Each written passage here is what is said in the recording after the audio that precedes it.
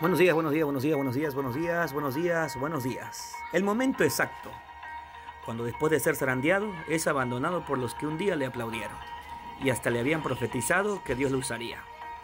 Pedro sintió realmente el abandono, sin nadie a quien acudir.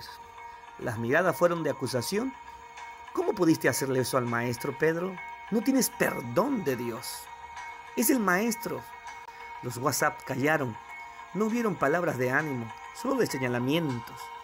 Pero hubo uno que nunca le habló del tema, nunca necesitó hablarle de su actuar, solo le demostró amor y misericordia. No necesitó decirle, te lo dije.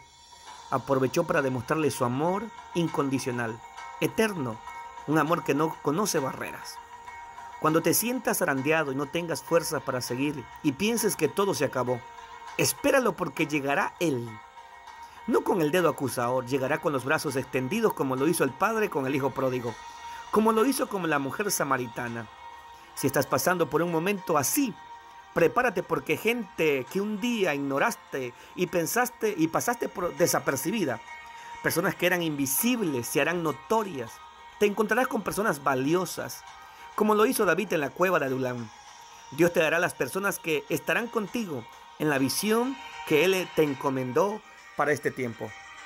Así que ánimo, Dios te bendiga. Buen día.